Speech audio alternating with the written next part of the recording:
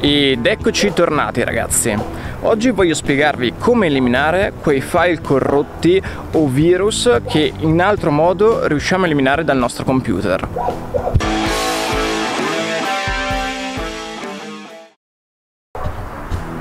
E rieccoci.